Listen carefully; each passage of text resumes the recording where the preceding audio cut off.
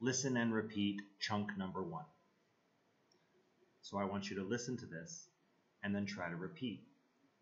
Do it three times and then record yourself. If you get it correct, move to the next one. Here we go. Chunk number one.